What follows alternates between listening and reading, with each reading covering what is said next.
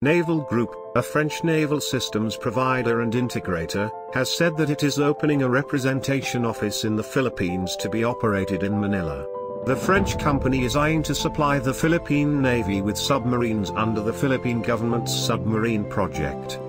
We are the only provider with previous experience in helping a country develop a submarine force from scratch and we stand ready to assist the Philippines Navy by providing the submarines but also setting up the training, facilities and supply chain required to operate a fully operational submarine fleet, Naval Group Senior Executive Vice President Development Alain Guillou said in a statement released by the company.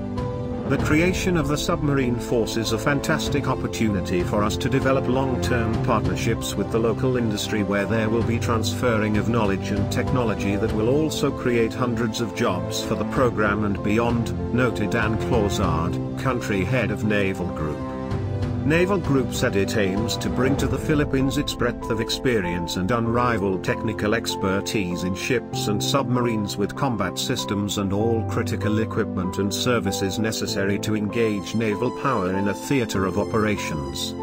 It noted that the company's portfolio opens many opportunities to address the entire range of Filipino naval needs from development of the naval forces to the constitution of a world-class submarine force.